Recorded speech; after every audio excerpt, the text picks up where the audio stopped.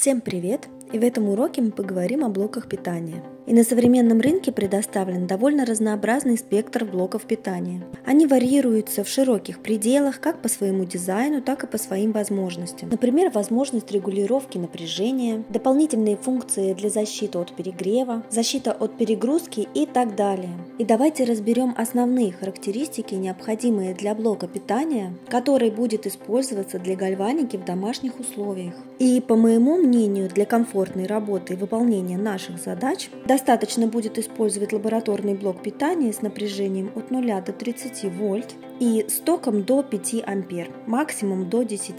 Лично я в настоящее время использую вот такой блок питания с напряжением до 30 вольт и с током до 5 ампер. Итак, подытожим. Цена на блоки питания будет зависеть от очень многих факторов, начиная от дизайна и фирмы производителя и заканчивая многочисленными дополнительными функциями. И выбор будет зависеть от ваших задач, возможностей и предпочтений. Ну а я надеюсь, этот урок был вам полезен. И до новых встреч. Пока-пока.